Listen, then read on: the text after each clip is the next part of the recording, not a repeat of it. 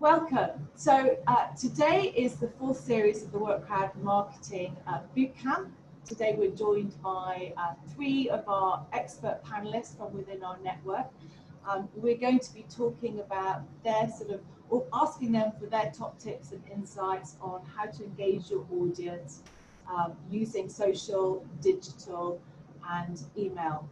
Um, really the, the marketing bootcamp series is really working with businesses uh, to really support them to help them reboot and re-engage with their customers post lockdown. So as a way of a, an introduction, um, we have Amy Nichols, uh, we've got, uh, sorry, I'm confusing, Amy Hewis, Rebecca Nichols and Jadis Tillery. Um, between them, they have a plethora of, of insights across social, digital, marketing. Um, each, each panelist is going to be talking about their own unique area. Um, so I'll give you, provide a, a, bit more introduction at that point.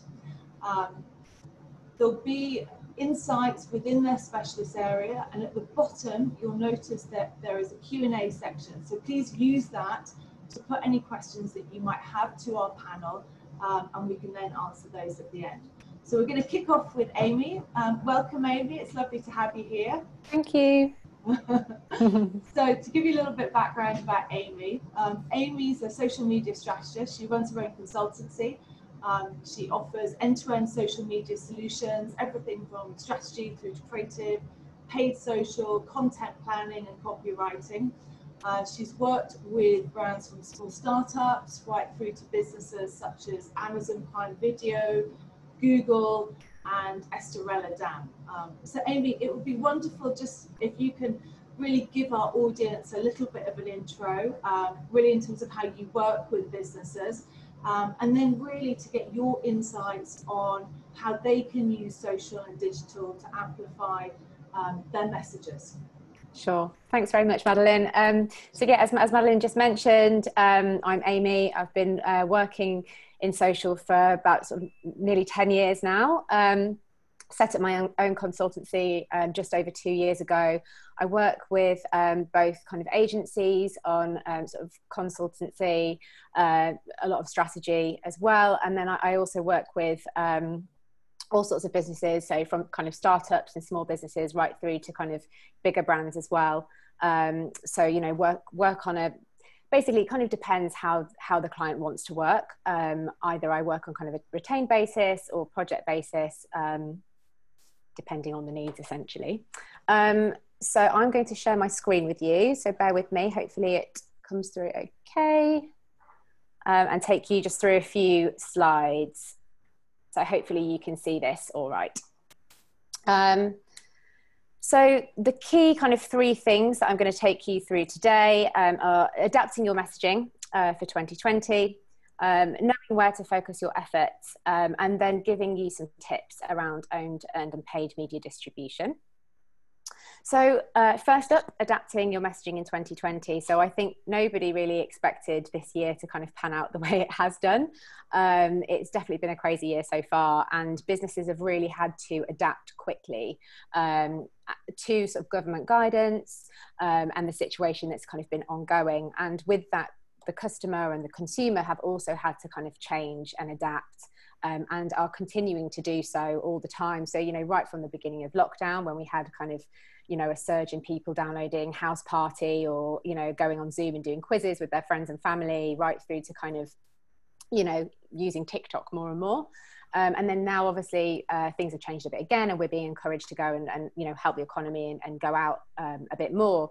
But with that you know we still need to be uh, mindful of, of sensitivities and how people are feeling and the fact that it's still a very uncertain time um, so the key for businesses, I think, with social and digital in particular, is to kind of really be sensitive to what's happening and also be able to adapt um, in a very kind of nimble way um, and just sort of be open to, to understanding how people are feeling and what the mindset is.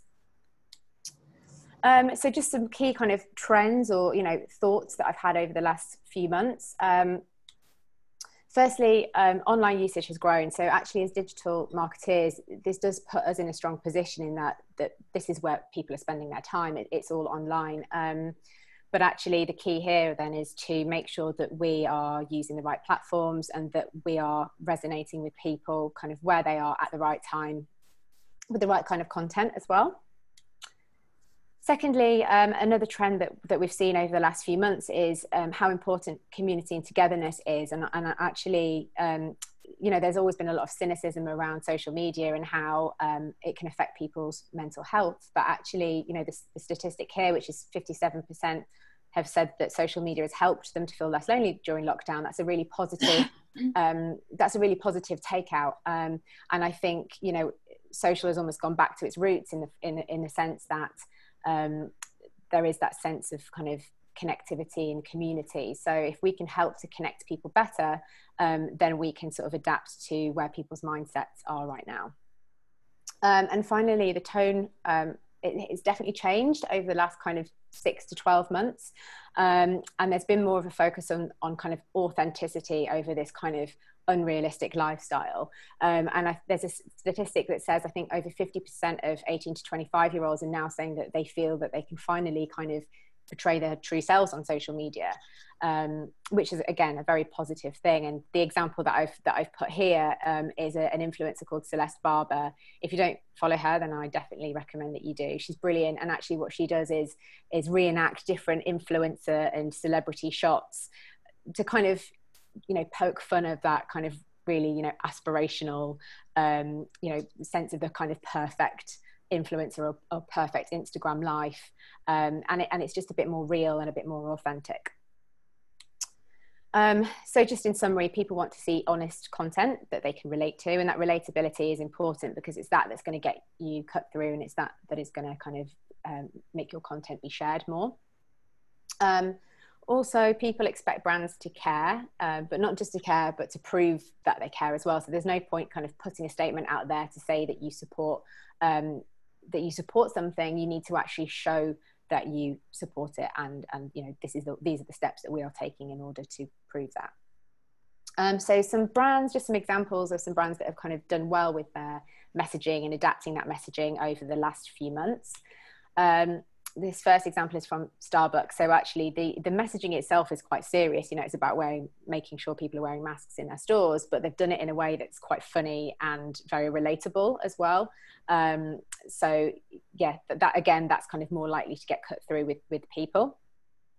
Um, second ex- example is Zara. Um, so they were very quick and nimble around lockdown. So when they obviously couldn't do kind of real life shoots, so they sent products to models in their home and asked them to shoot the content themselves, which not only was um, wasn't only smart because um, you know they were able to still get their messaging out there during lockdown, but it allowed the models to to seem more human and again more kind of authentic. Um, this example is from Lego Group. So, you know, they, they wanted to put a statement out um, about how they were supporting the Black community around Black Lives Matter, um, but not just that. They actually, you know, acknowledged that there was much to do, and, and they and they pledged something meaningful um, that was based around their kind of own brand values and their business, which is around, um, you know, educating and um, supporting uh, children. Um, and then the final example here is a, is a B2B example from Facebook for Business. And um, they've been kind of offering free training to people who have been furloughed during, uh, during COVID-19. And um, this is, you know, a smart move in that actually they're being kind of sensitive to people's needs at the time and able to shape their offering, um, you know, around that.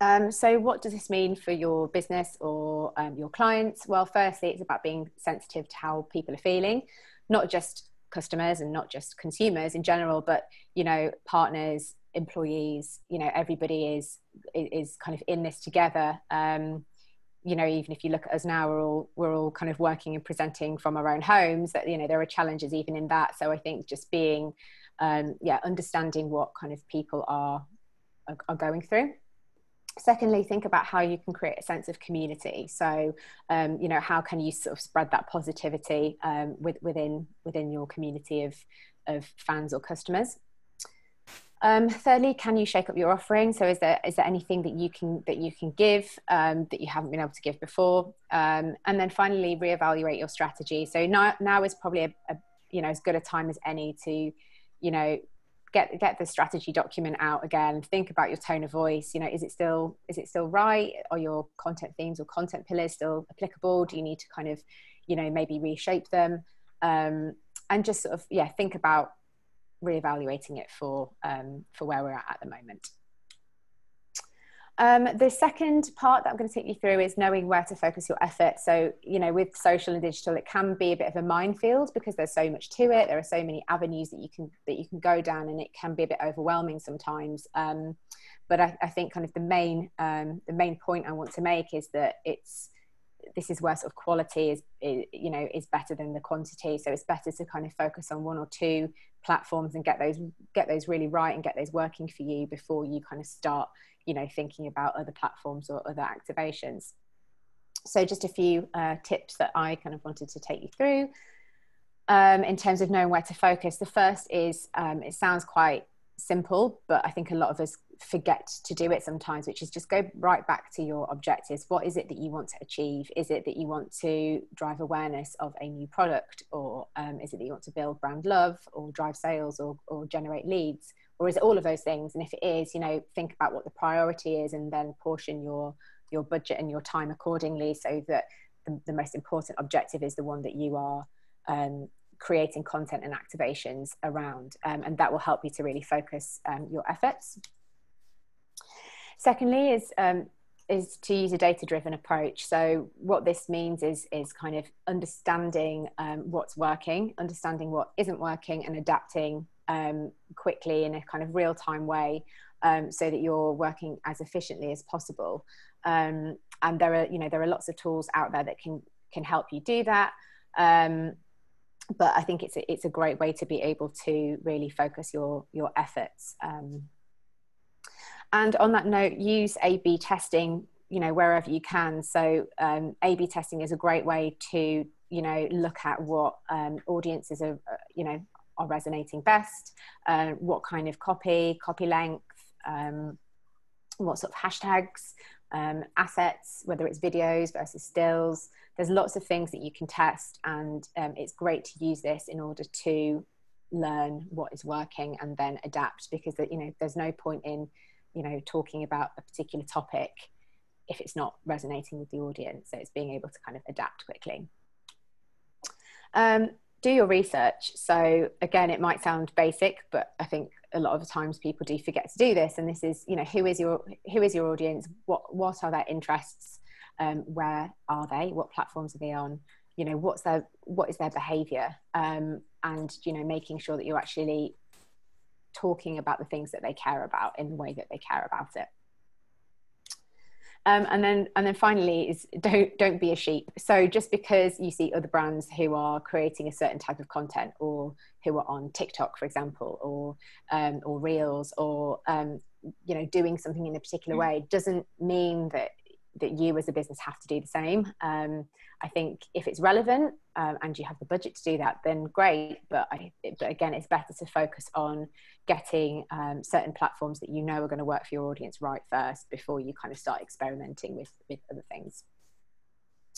Um, so that's that section, and the, the final um, the final bit from me is some tips around um, owned, earned, and paid media distribution. And hopefully, you do already have strategies in place. Um, if not, then I you know recommend kind of thinking of of, of each of those three um, types of media when you do put it together, because that will then help to reach people at different touch points across the the, the, the sort of customer journey. So, some tips for owned media amplification. Um, first is be consistent with your posting. So, um, firstly, the in terms of social media, the algorithms like consistency. Um, so, whether that's Instagram or Twitter or Facebook or any of the others, they, they like that kind of consistency um, of posting.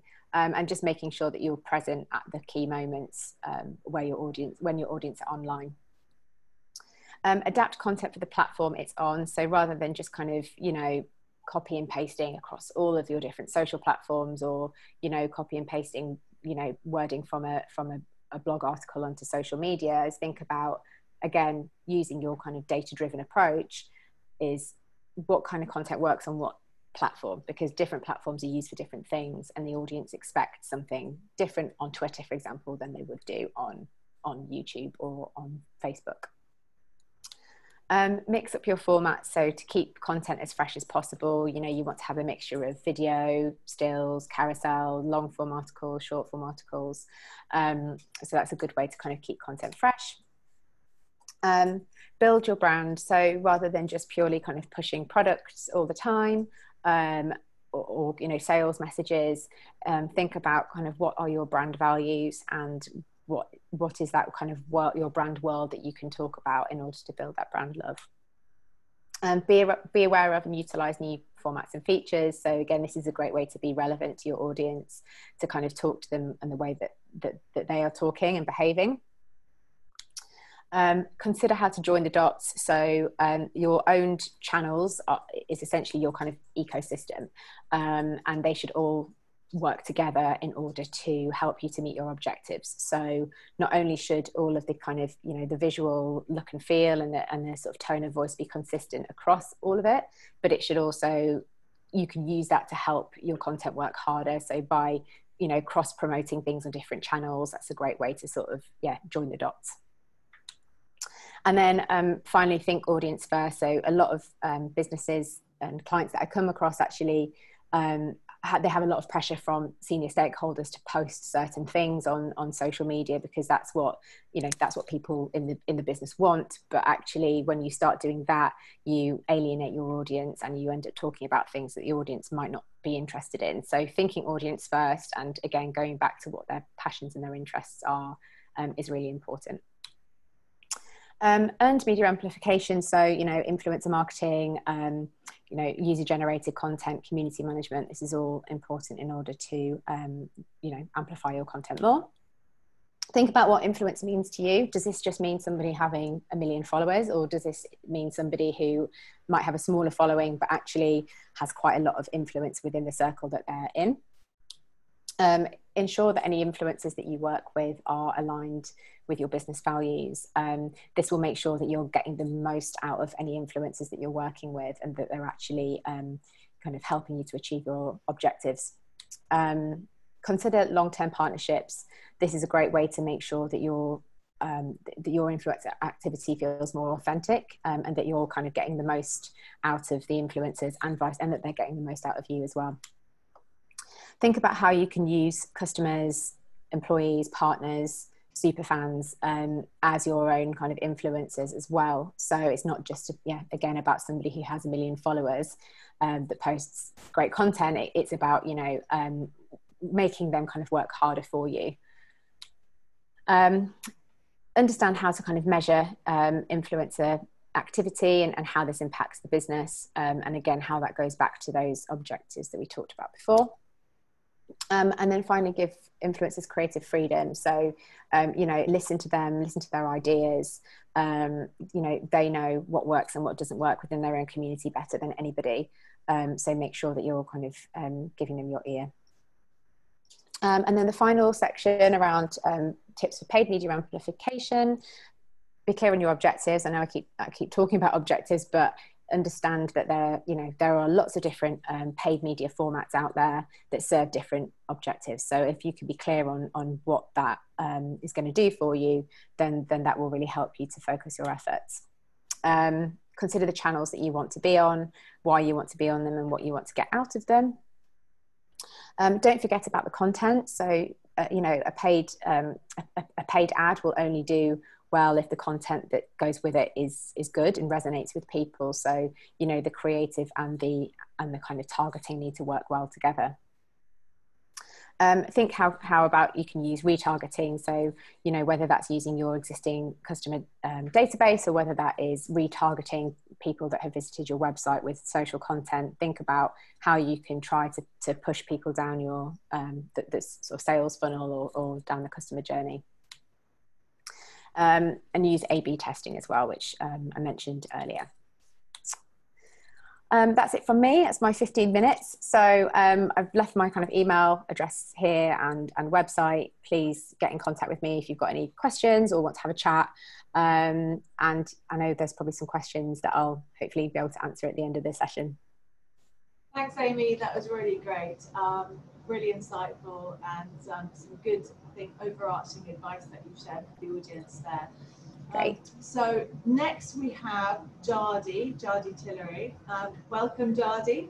Um, so to give you a little bit of background about Jadis, Jadis's a global digital content strategy director. She's been consulting globally since 2013, working with um, founder brands such as Bella Freud, Kelly Hoppen Interiors, Alexa Chung, as well as some large enterprises such as the BBC, Shop Direct Group. Um, I understand that you work with brands to really help them drive digital innovation um, and really to help them create impactful business transformation, Jadis, through marketing. Um, it'd be really great if you can sort of give a little bit of background um, to the audience about how you work with businesses um, and really then obviously provide your insights um, in terms of how our audience can use organic social to, to drive um, business success. So if I can hand over to you, then that would be wonderful. Thank you. That was a really great uh, intro. So um, I don't know what else to add. I've been in marketing for about 20 years and focused on uh, digital for the past uh, 12 with a specific focus on social. So I have worked client side, agency side, and more recently in private equity. So my focus is really on helping businesses understand how to make uh, social media work harder for them to meet their business needs. Uh, marketing not just to be a vanity metric, but something that actually drives results. So I often work on organizational change and and processes within organizations, helping uh, smaller companies make the most of what they've got, uh, build out teams if they have the budget for that, or establish a freelancer network so that they can work with partners that are trusted because I trust them and I've worked with them. Um, so I work with uh, businesses on a number of different levels, and I also have uh, specialisms, particularly in video content and targeting the luxury market. So those are a few of my uh, USPs. But I'll move on to the real reason that we're here, which is uh, the presentation. So I'll just start sharing my screen with you now.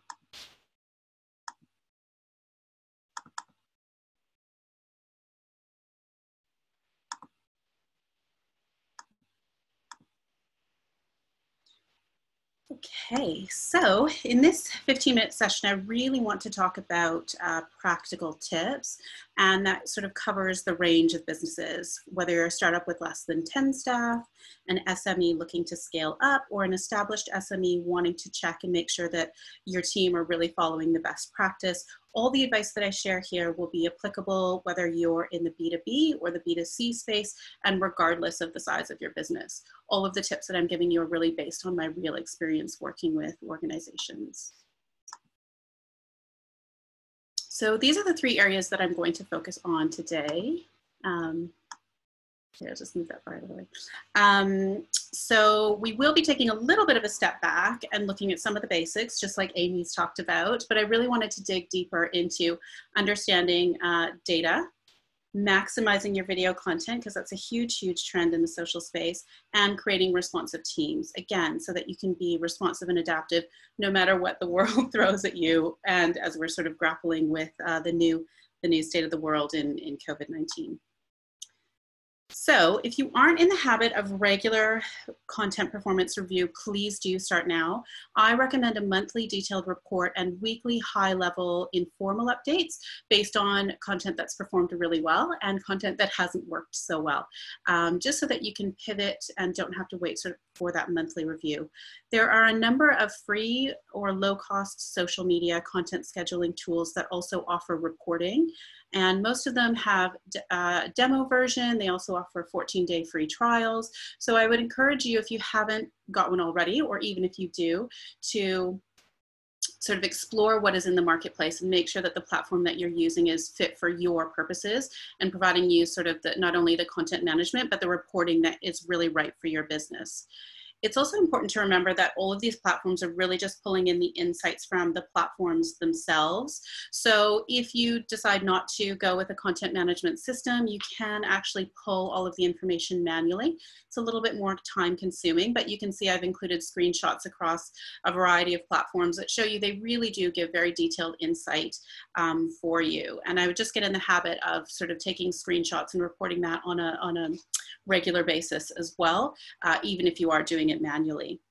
I hope that most of us have sort of moved beyond the metric of uh, vanity metrics, such as sort of audience size, and are focused a little bit more on engagement because ultimately that is what social is about. It's about creating communities that are engaged, and loyal so that ultimately they purchase your products and services and they recommend your products and services to, to friends. So it's really sort of the individual content pieces that I would want you to focus on and looking at sort of engagement levels there are widely published engagement levels across various industry sectors. So you can find that information and set that as a benchmark, but also to recognize that your community is unique. So over a period of usually about three months, I would monitor the engagement levels and sort of set a benchmark that is in part reflective of what's happening in the industry, but in part reflective of where you are at the stage of your business and find sort of a medium uh, in, in between when you're setting longer term sort of six and 12 month goals. So this tip actually comes from my experience in kind of the broader um, marketing mix and particularly a role that I uh, took on with Hult International Business School, which is a private university with seven campuses globally. They um, really were very advanced in terms of their paid social and their um, paid media, but were a little bit behind in terms of their organic side of the business. So they wanted to be very tactical, introduce very clear reporting, and really get down to the nuts and bolts of the actual content they were posting to make sure that it was performance orientated. So this is a little trick. If you aren't aware of Google search trends, I would absolutely uh, encourage you to go and take a look. Essentially what it is, is it aggregates uh, search volumes of different terms and you can customize your searches based on regions, uh, based on time frames, and there's all sorts of tailoring that you can do in terms of demographics as well. So if we take a quick look at this, you know, in the time of COVID that we're, you know, we're all living under, the idea of sort of remote working, home working, and work from home are all very topical because that is sort of how we are living our lives at the moment. But if you as a brand wanted to write a post about working from home or adapting to those circumstances, a quick Google search trends search will find that actually the term you should be using when you craft your individual post is home working, even though we're all talking about working from home. So doing that little step um, is a fantastic way to just make sure that all of the content that you're writing is uh, orientated with performance in mind. If you haven't done so already, I'd also encourage you to create a keyword list for your organization. That's something that you can review periodically, but it's just single uh, sheet document typically um, that just is a reference point for anyone creating content from you across the organization that is going to be in the digital space to say these are the terms that we use based on our data and insight that these are the ones that not only align with our brand values, but will get the most traction in terms of um, visibility. So you may have brand values and USPs that you want to convey, but remember that in organic social, it's really all about starting a conversation. So I've talked about keywords, but also take a step back and understand that keywords come in a context. You know, typically when we're typing into uh, Google, it's not just a single keyword anymore. It's a question that overall we want Google to answer for us. So these platforms AlsoAsked and AnswerThePublic are fantastic tools for typing your keywords into and understanding the wider conversation and context that's happening around those keywords. It's literally the questions that people are asking that you, if you're um, doing your content planning, want to ask, answer. So definitely utilize both Google search trends and also these platforms that give a little bit more con context to the keywords themselves. And also, please don't forget to look to optimize the length of your posts based on your platform. I have very detailed speaker notes in this presentation, so I've included links to that there. Um, but there is sort of not just your character limit, but there's an optimal number of characters that you should be writing for each post. There's also an optimal number of hashtags based on the platform. So while it might only be two for LinkedIn, on Instagram it's going to be 9, 10, even 11 uh, hashtags are all acceptable when you're creating a post. So those simple tools are really great just to make sure that the content that you're writing and the time that you're investing into writing your post is really optimized for visibility and for uh, both for your audience, but also for the platforms themselves.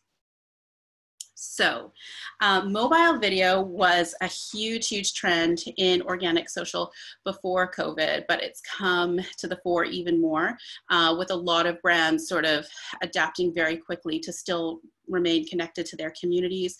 Daily Instagram lives are very much the norm, and some businesses have actually been very brave um, in terms of shooting content in unexpected places. So NatWest actually ran a 30 second TV spot that was largely filmed in the homes of their staff who were working remotely. So it just goes to show that, you know, there is an understanding, there is an, an expectation that um, content is not going to be as polished, is not going to be filmed in sort of studio locations.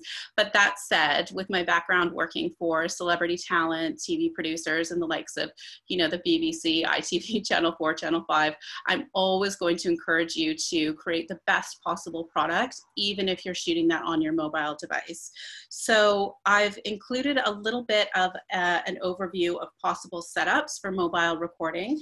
So on the right is probably the lowest end um, of the budget. That's about 60 pounds for that kit. Whereas on the left, it's sort of the full, the full gamut of um, accessories for mobile phone shooting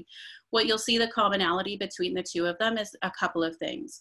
There's always a, a light source. So although I'm sure you guys are fantastic at um, Zoom now, you know that you need to be in sort of a naturally lit space with a fairly neutral, or in my case, super interesting background. Um, you want to have that artificial light source just to make sure that everything's well lit. Uh, you do want to have an external microphone to pick up audio as clearly as possible. And then I would really encourage you to have a two camera setup. So making sure that you have a vertical and also horizontal, because again, depending on which social platform you're focused on, you will need one version or the other. It may be that you don't have two mobile phones, so using a mobile in the vertical position and then a laptop horizontally is just as good. Um, so it, I would just encourage you to have those two set up so that you only have to film once, but you get ultimately two video clips that you can use across social. Um, the package on the left uh, focuses on accessories that also allow you to move outside and shoot on the fly. So a gimbal is the thing that's holding the phone and that actually um, basically stabilizes your phone so it doesn't go shaky when you're trying to record. But I think for most of you, you'll probably be recording um, in studio in a static position. So that is when something like the ring light comes into the fore. That's beloved by beauty bloggers because everyone um, just looks so fantastic in the lighting. So um, those are a number of different options that you can look at and I would encourage you to do that that to get the kit that um, works best for you based on what you're shooting and also sort of your budgetary restrictions. And also with the kit, make sure that you get a great um, photography backpack or a hard case so that you can courier the kit around to various content producers within your organization or partners that you're working with um, so that it stays all nice and secure and safe.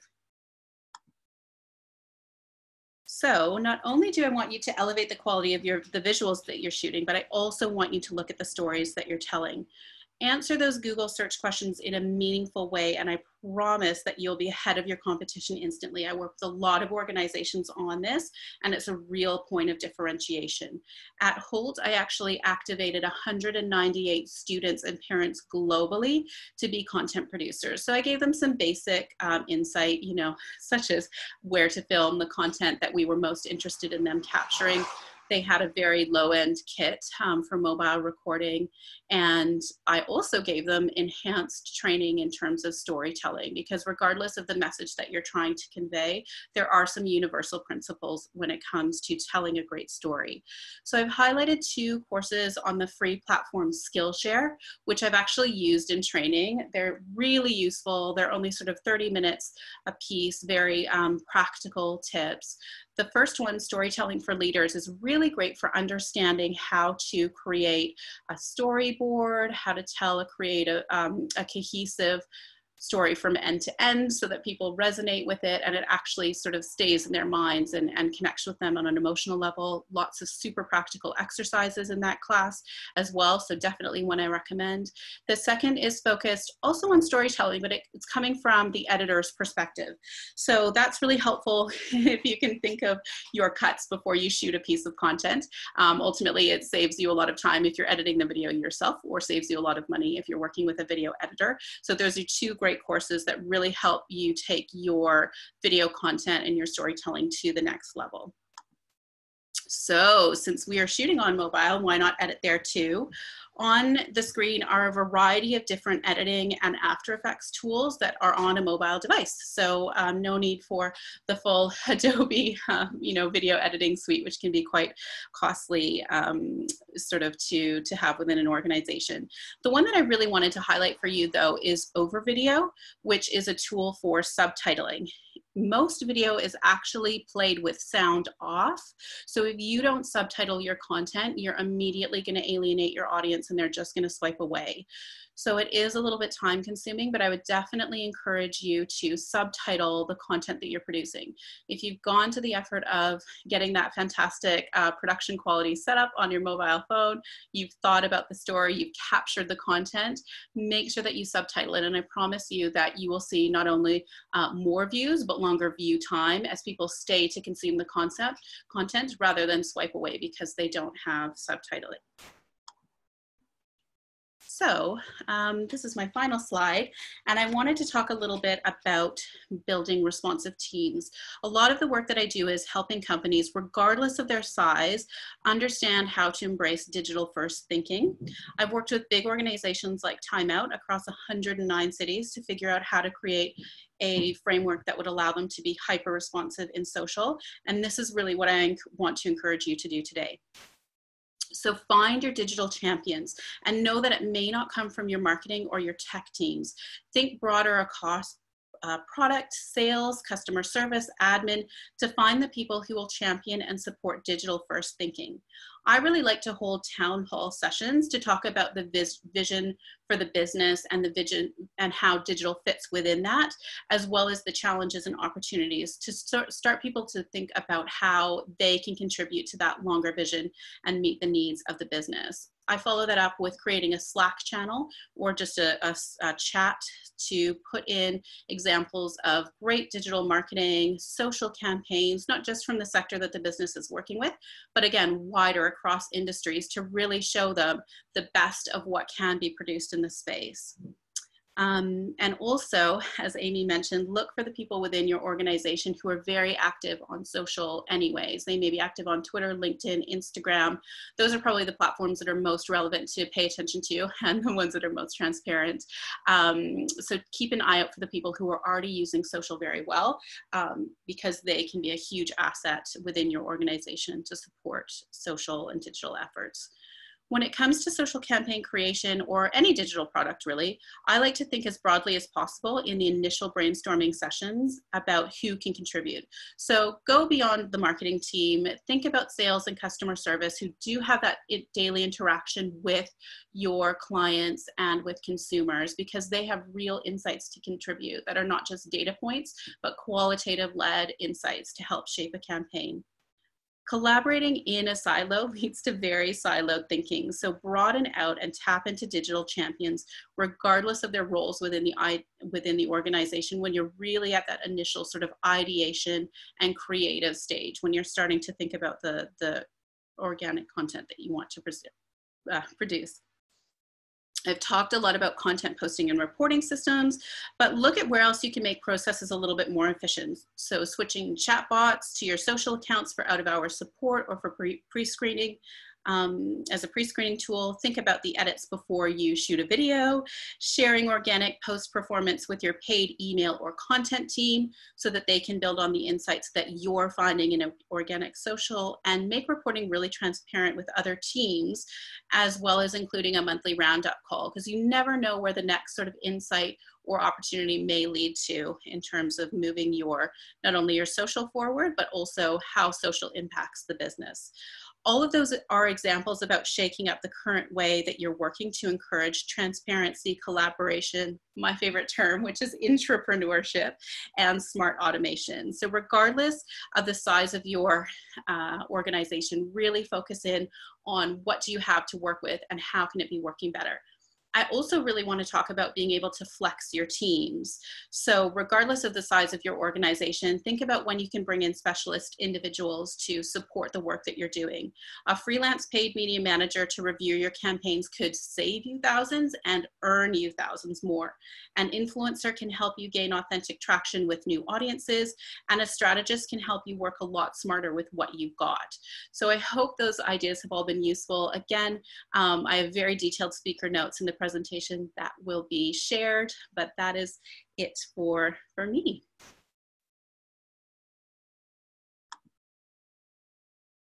Thank you so much, Jadi. I lost my uh, mute button there for a moment. that was really, really insightful. And, um, you know, actually, video is such a powerful tool now at social that actually getting those really detailed insights, I think, will be um, really useful for our audience. Um, so next we have Rebecca Nichols. Um, thank you for Rebecca for joining us. Rebecca is an experienced marketing director. Um, she has over 20 years multi-channel expertise working with some of the UK's most loved brands. Um, Harry Potter, Barbie, Organix Baby Food, and Liz Earle Skincare, to name a few. So Rebecca covers everything from strategy development, um, e-commerce, digital marketing development, and there's also um, very, well, helps a lot of brands really with their product launches. So Rebecca today is going to focus on the power of email marketing. Um, I think email marketing is one of those areas that, um, yeah, you know, it's a bit of a dark art and, and, and has such huge um, powerful uh, effect done right. Um, so it would be great to sort of better understand, Rebecca, the sort of whys and how we should best be using it. So if I can hand over to you, then that would be great. Okay, thanks very much, Madeleine. okay, so um, after that, that sort of fantastic introduction there, I don't think I need to uh, to say any more about myself, my background. I think I work with a lot of um, startups, scale ups, um, big corporate background, but now very much working with smaller businesses to understand really how marketing can drive business growth for them. Um, so today I'm going to talk you through just some top tips on email. So if I just share my screen, just bear with me a second.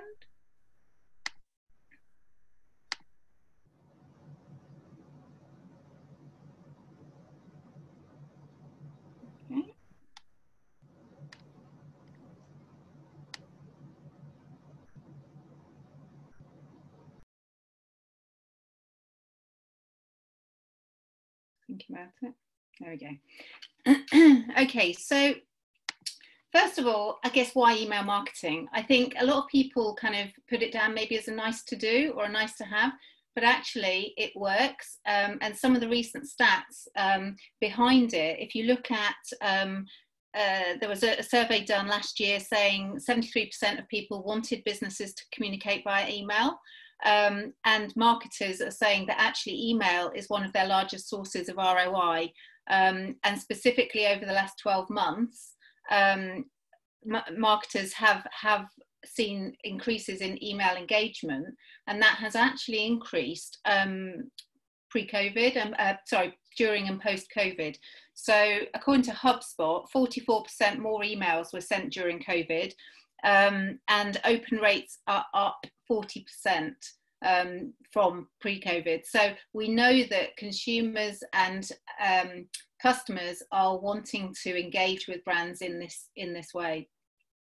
So how can how can email help? Well, it can help your business in a number of ways, from finding customers, so from a lead generation point of view, um, to nurturing customers. So this this um, really important point about establishing loyalty. You want to be attracting and engaging customers who are going to become loyal to your brand and keep keep coming back to repeat purchase. Um, and that can be achieved very successfully with email. Um, sharing personalized and valued content. So this is a way that only there's obviously only a certain amount of content that you can share sort of on your website, via social, through the other channels. But email gives you this opportunity to actually personalize it according to the person you're emailing. So you can segment your, your database of customers and then send different messaging according to, you know, what that person might or might not have bought or, you know, where they live or any, any, any sort of um, demographic that makes the content more relevant to them. Um, generating website traffic, obviously, everybody wants uh, more people to come to their to come to their website. So if you can really engage your your database with some really strong content, then this is a great way of actually directing them through to the website to hopefully ultimately convert and convert to sales. Um, but to get results, email does require investment in time. And this is one of the things I see quite a lot is the email is kind of almost considered something that's just maybe passed to a junior person or just somebody to write a nice little note. And actually it's a lot more complex than that. No, it's not complex, but it's a lot more um, involved than that. And I think it, it, does require time and effort to get the email right um, to ensure that it, that it is successful. So when we're talking about building your email list, um, for, for, me, well, the fact is it's about growing engagement, not size.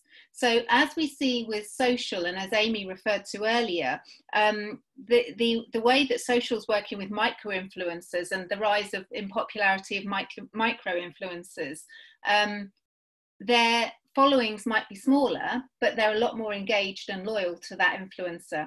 It's a similar thing with your email list. It's no good having hundreds of thousands of, of, of consumers who have signed up but who aren't really interested in what it is that you've got to say. It's much, much more powerful to have a smaller sized audience, but who actually are on that on that database on that email list because they want to be engaged they want to be a part of your community and a part of your brand.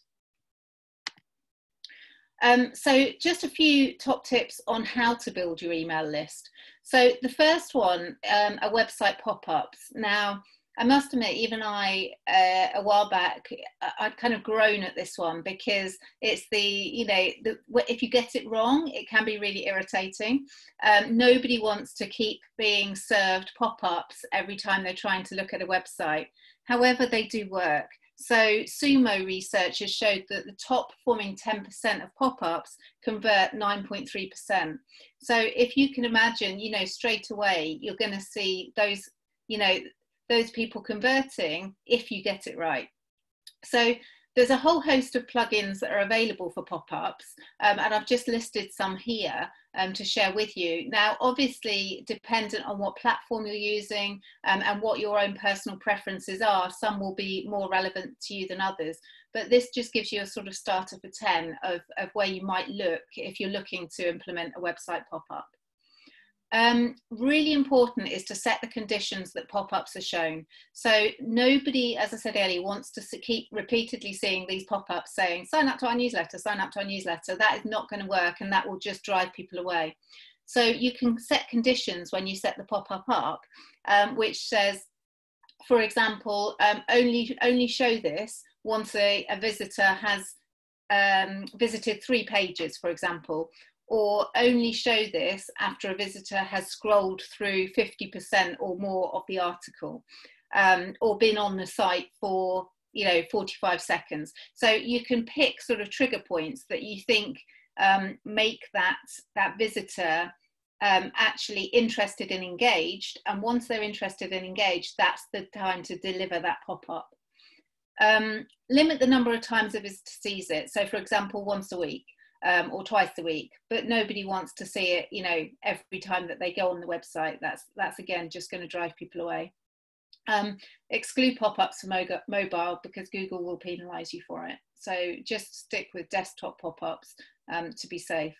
And then in your messaging, it's about being conversational, it's about being engaging and being specific about what this means to sign up for an email. So don't just go, Would you like to join our email list? Because that's going to that that's nobody's going to actually engage with that.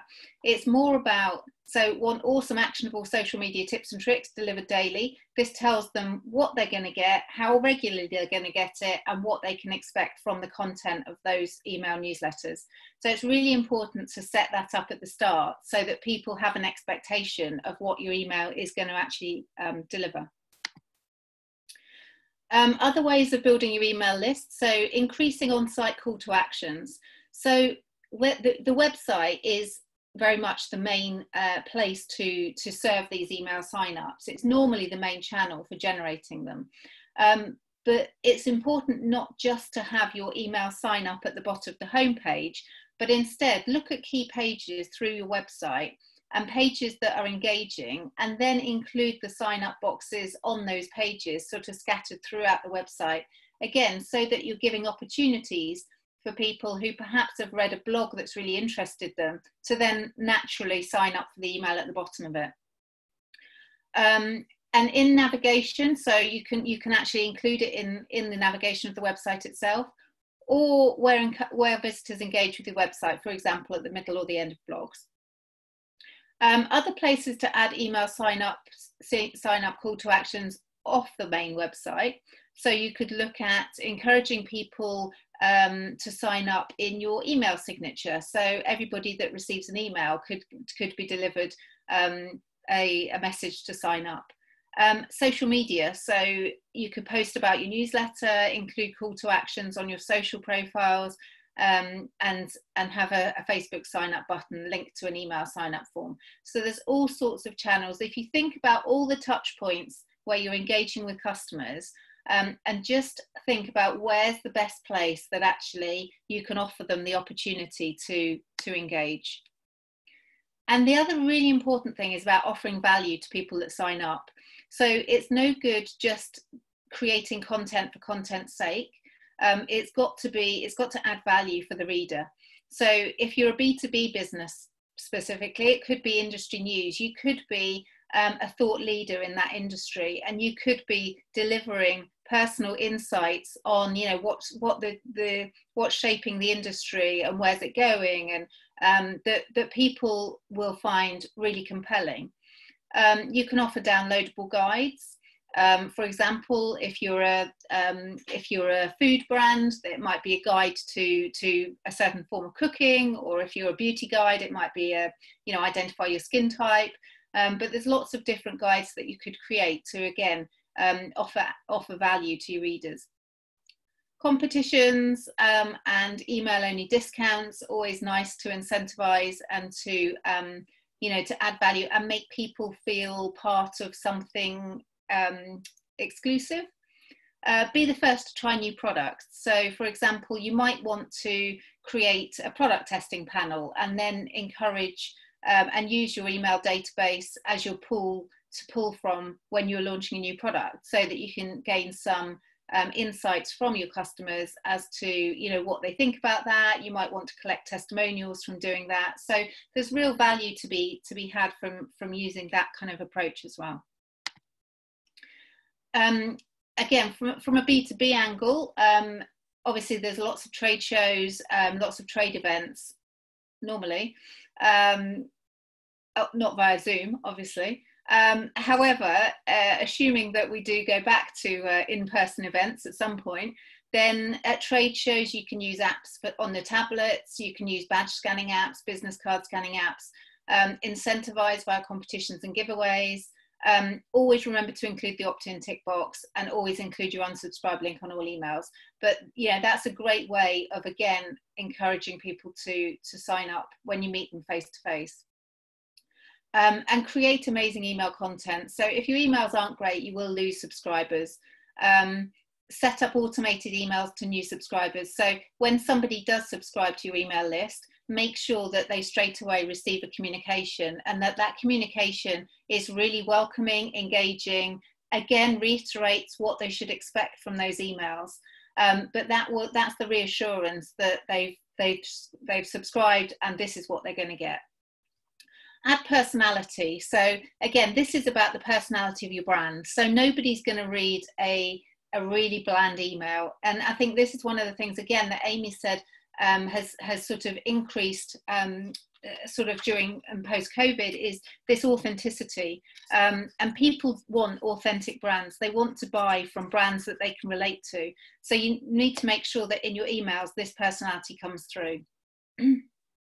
Segment your database and then customize your content to increase your engagement. So this is what I mentioned earlier about if you've got your database, then you know segment it according to it could be, for example, according to what people have bought. Um, and if you've got a particular new product launching that you think might be particularly relevant to a certain uh, segment of your customer base, then maybe you email them with a specific, you know, a specific message um, different to the one that everybody else gets and have a clear purpose and call to action in the emails so make sure that you're you're very clear in your mind about what the what the objective of that email is and actually what the call to action is so what are you wanting people to do when they're reading and once they've read your email um, this is a recommended read that i really do um, find valuable for businesses who perhaps have never really used email or want to overhaul their email. Um, and it's from a it's written by um, David Hieatt, who is an entrepreneur um, who's who's founded a global um, jeans business, actually based in Wales. Um, but it is such a fantastic book. It's really easy reading. It's bite-sized information, top tips. Um, and for, for him, as he says, he says, for me, the newsletter is the most important tool I have in building a global denim brand, second only to the sewing machine. And he takes you through step by step in this book how email has been so powerful for his business. Um, which obviously from a startup point of view when budgets are limited um, and resource and time is limited you have to be quite focused so actually this is a really good place to start if you're start if you're thinking actually how can i make email work for my business? Highly recommend that. Um, email automation. So email automation effectively are emails that are sent based on a trigger. For example a purchase or an elapsed period of time. So, for example, if your customer hasn't purchased for a month or two months, it's an email that automatically goes out to say, "Hello, like remember me? Um, have you run out of your product? You know, is it a good time to buy again?" That that kind of um, that kind of um, automation that makes sure that you don't lose customers um, as as time goes goes on. So here you can see the chart um, is the top six automation workflows. This comes from Omnisend. Um, and it also tracks the open rates of the emails. So you can see kind of, you know, actually the power of, of these and the, the order rates against those emails. So when people place an order, they automatically receive an order confirmation email. That should be a given. You know, that should be something that if you're working in an e-commerce business, that you've got set up on your website um, to confirm any orders. Cart recovery. So if somebody abandons cart, this is a really important one. And um, it's a great way of actually getting customers back who've put items into their cart and then and then um, disappeared, if you like. Um, welcome automation, that's the one I mentioned earlier. Customer reactivation. So this is where, for example, if you haven't ordered, if a customer hasn't ordered for a certain length of time, they'll get that email.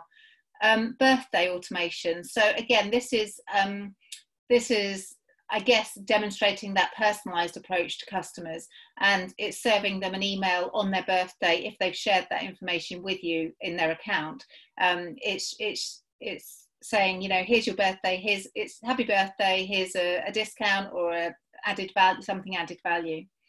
Um, so those are those are just um, some stats where you can see the power of actually automated email and what it can do. Um, it's an it's an omnipresent marketing force. So effectively, once you've set up your automated emails, it they run. So it means that they're doing the work in the background, and you don't have to worry about them. They're sort of keeping this keeping your customers engaged at certain points when your customers doing certain actions. Um, they increase revenues, and they're always relevant because they're contextual at the contextual at the right time. So you're never going to you're never going to be sending an email to a customer that isn't relevant to that point in time because it's driven by a trigger. Um, creates consistent brand communication. So, alongside regular newsletters, it just helps to drip feed your brand and, and ensure that your brand is top of mind. Um, because obviously, it's a very crowded marketplace. Um, and if you don't speak to your customers, if maybe you drop, drop them an email newsletter once a quarter, it's very easy in that time that lapses for them to, to forget about you and your brand. and obviously, time efficient. Everybody's so busy um, that once you've put the time into setting these up, they then run themselves, meaning that you, you don't, you know, you don't have to spend lots of time on them. Um, so just top tips for e-commerce. Um, these are the top eight, and again, they they're, they're, just a bit more detailed than the the stats. But these are the ones that if you're going to do anything as a takeaway from today, to set up these workflows. Um, if you've got an e-commerce business, um, make sure that these emails are all automated and are all, all in place because they will they will um, deliver back and they will deliver you revenue. Um, and obviously, when it comes to automation software, there are hundreds available. And again, it's a case of having a look online, knowing what you want those to do, what platform you're working on, and finding the one that works best for you. Um, you can get free versions and you can get paid for versions. It just depends how much you you need from that software. Um, but again, I've just highlighted some of the more popular ones um, as, as a starting place to look to look at if this is something that you haven't got already set up and something that you you want to do for your business. Um, these are some of the sort of you know places to start really.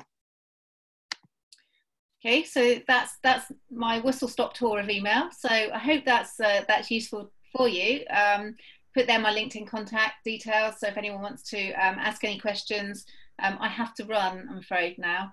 So I'm not going to be able to answer your, your questions if anyone's got email ones, but do do note them down and Madeleine will will ping them over and I can I can answer them in that way. Oh, that was brilliant, Rebecca. Thank you very very much. Actually, there's a loads of takeaways that I was there thinking, oh, I must action that after after this.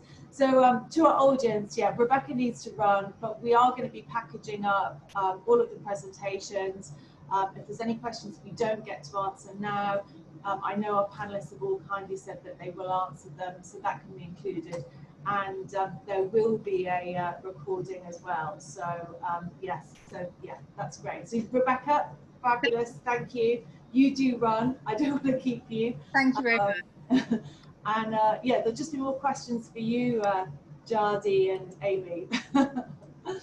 um, so yeah, we've had lots of lots of questions that, that's come through, and um, I think actually all our panelists have, have shared some really interesting points. Um, we actually had a, a, question that came through prior to um, to this from a Vicky Vicky Kime. I think this one might be one for you, Amy, um, which was what's the biggest shift that you've seen in online search behaviour um, in the last six months? Um, online search behaviour, I guess, slightly, slightly different to kind of what I've seen in social. Um, I think I think people, you know, over the last few months have definitely been kind of um, searching for um, content and and you know stuff that they can do at home. Obviously, you know, working from home, adapting to the situation that we are in currently. Um, you know, people have been looking for online, whether it's online events or ways that they can kind of learn better, you know, educate themselves. Um, you know ways that they can keep themselves occupied ways that they can connect with others. And i think everything that's kind of based around yeah i think the, the situation that we're in really i think that's that's been quite a big shift. Um, you know even things like events you know obviously the, the types of events that people are looking for are very different now to what they were you know even eight months ago. So i think it's just that kind of yeah that that whole sort of behavioral shift really Yes, no, exactly. I think you know you touched on it in the, the very start. It's sort of actually um, it's been sort of sensitive and and um, and I think actually as as you talked about Jadis, is in some respects, actually going out and doing that research at the very beginning in terms of actually what people, you know, what people are searching for, because in some respects that that that will give you um, the answers and being agile and, and adjusting it accordingly. Um, on um, Jadis, this is a question for you. Quite a couple of our audience have sort of asked um, about A/B testing. So everything from um, what is A/B testing, um, right through to okay, if we're looking at doing A/B testing, what sites would you recommend um, to create and create that automation, but also to, to then monitor it successfully? And um, think from a paid perspective, the types of budget that you um, you might need um, when you're when you're looking at, at, at perhaps looking at paid uh, elements uh, of the A/B testing. Um, well, I might actually hand this to Amy because I myself do rely on paid media specialists. I know that um, certainly within the Facebook ecosystem, so Facebook and Instagram, uh, they do sort of facilitate A B testing, and it's hugely important for brands to do that just to sort of maximize their spend and insight. Um, I understand how to set up the campaigns and structure them, but I'm going to hand over to Amy because I think you may have a little bit more specialist knowledge. You did re refer to that in your presentation, so I'll hand over to you.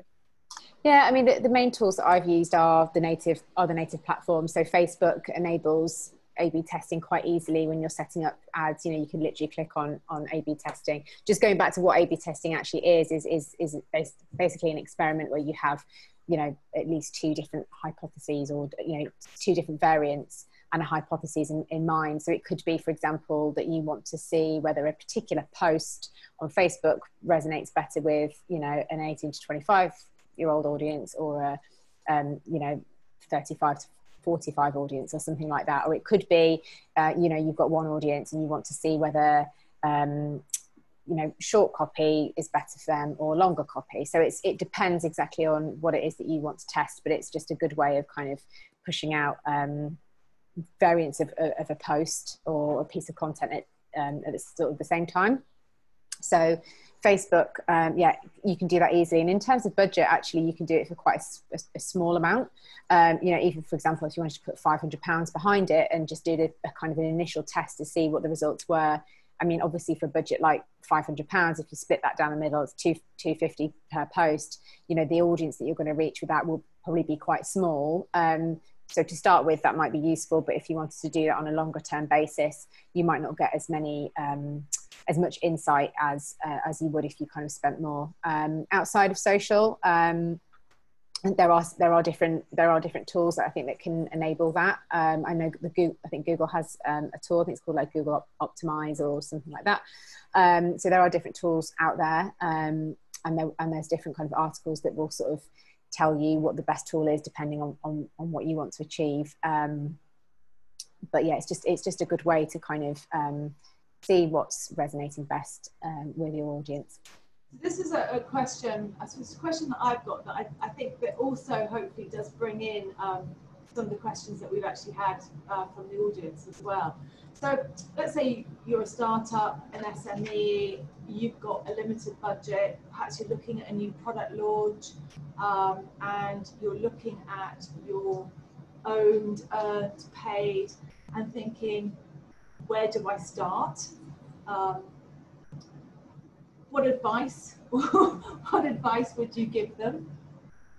And this um, is, I mean, this is probably, I don't know which one of you wants to take this one.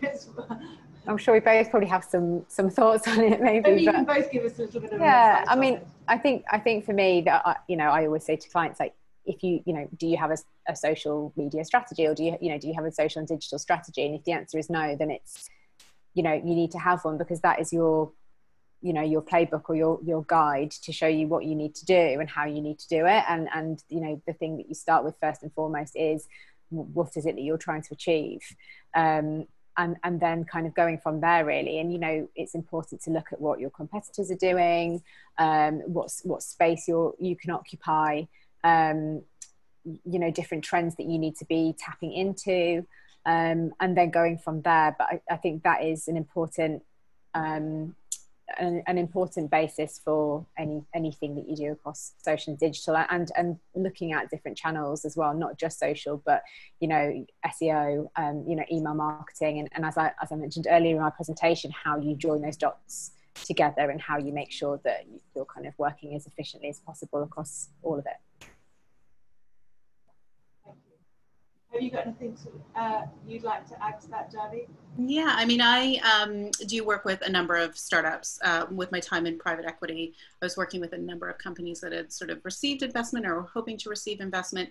So I always like to operate from uh, the owned space first. So what have you got to work with already for free that you just need to be smart about how you're utilizing? So really going back to you know, Amy saying, I would hope that an organization would have a social and digital strategy in place. If not, really work on that first. So spend a little bit of time building up your community, investing that time and effort um, prior to your launch. You know, even if it's sort of, you know, one to three months, that will bear you a lot of uh, dividends in terms of being able to go out and reach that engaged audience. If you do add a layer of paid media onto that in terms of social targeting, um, it makes it much more efficient in terms of your spend, linking your email um, database that you may be creating. Hopefully, after that great presentation from Rebecca, you will be um, retargeting people in the social space with your particular uh, new product offering. So, really start from the place of what have I got to work with? For free? What's my network out there that I can automatically tap into? And then how can I add layers to enhance that? So targeting, um, setting sort of minimal uh, spend budgets for your launch to test things prior to then going out for a bigger campaign to really support that launch hard, if that makes sense. So softly, softly, and then boom, you know, hit it with everything you've got after you've sort of laid that foundational work. Brilliant. No, I couldn't agree more. And just actually, um, another question I think for you, Jadis. So thinking about video, um, video, as you say, it's increasingly a powerful tool for brands to, to really communicate and engage with their audience, but also to sort of create that sense of community, which I think has been an important element that's come through. Um, when we're thinking about B2B brands, how you know is it relevant for b2b brands? If so how could they be you know how could they be utilizing it? I appreciate that your expertise is more on the consumer side but um if you you know if you have some thoughts on that that would be wonderful. Yeah, I mean, I think video is something that resonates with people regardless of whether you're the B2C or the B2B sector. You know, we as humans like to consume a lot of video content. So even if you're in the B2B space, your customers will want to consume content as well. Rebecca mentioned this concept of sort of thought leadership pieces, and then linking back into my presentation about doing the research, looking at what are the questions that people are asking about particular keywords or particular subject matter that relates to your specific sector or your particular offering. So don't just assume to know what they want to what they you know want to hear about from you, but actually take a step back, look at what they're searching uh, about, and answer those questions in very sort of clearly useful value added ways also don't be afraid to talk to your sales team the people who have that direct interaction with your client base because they will give you a lot of insight in terms of the recurring questions or the recurring needs that seem to be happening when servicing clients. So really take that before you create that content and i absolutely advocate you doing that. Um, just do your pre-research to really refine what it is that you're going to offer. You know instagram live has been a fantastic tool that we've seen utilized over the covid period bring in expert panelists make it you know a must attend uh, destination something that will really give your customers uh, value. That could be an instagram it could be on linkedin. Um, there's lots of ways in which you can utilize video even if you're in the b2b space by just understanding what it really is that your customers want. So i think we might have time for one final question. Um, so paul lehman has asked um, what's the best way for social teams and social media strat when you're thinking about your social media strategy to balance the needs of um, communicating with your customers and then also then communicating with your corporate stakeholder, stakeholders um, that's another yeah. You know this is a one that i deal with quite a lot because i feel like quite often when you're dealing with sort of the business side or you're speaking with the cfo you know they almost see marketing and marketing campaigns as a little bit of a vanity metric and not really adding to the bottom line of the business. So i think it's really important that you understand what is the information that those other stakeholders, those other decision makers really need to get from you? So, how is marketing contributing to a real business need? Is that driving transactions? Is that driving traffic? Is that you know increasing uh, lead generation through email sign up you know what is it that social media marketing can do to deliver things that they understand in terms of actual revenue generation or filling out your sales pipeline a little bit more? So you know really understand business needs and how can social media facilitate meeting those business needs. Speak to them in their language is the bottom line. Because a lot of times in marketing, we speak a lot of jargon and we have a lot of vanity metrics. So you need to be speaking their language and understanding what you can tell them about the work that you're doing that will make sense and resonate with them. Thank you. Now, there, there's lots of other questions, but um, we will make sure that we fire them to Amy and, and Jadis and, and Rebecca afterwards, and, and hopefully we'll be able to get back to you. But thank you. Um, to our amazing panelists, Amy, Jadis, and I'm okay, Rebecca's gone, but you, yeah, some really useful takeaways there, I think that everyone would agree. So thank you very much, and thank you obviously to our audience for joining us today. Next Tuesday, um, we will be hosting another series, so um, do check that out and sign up if you haven't done already. So bye for now. Thank you. Thank you.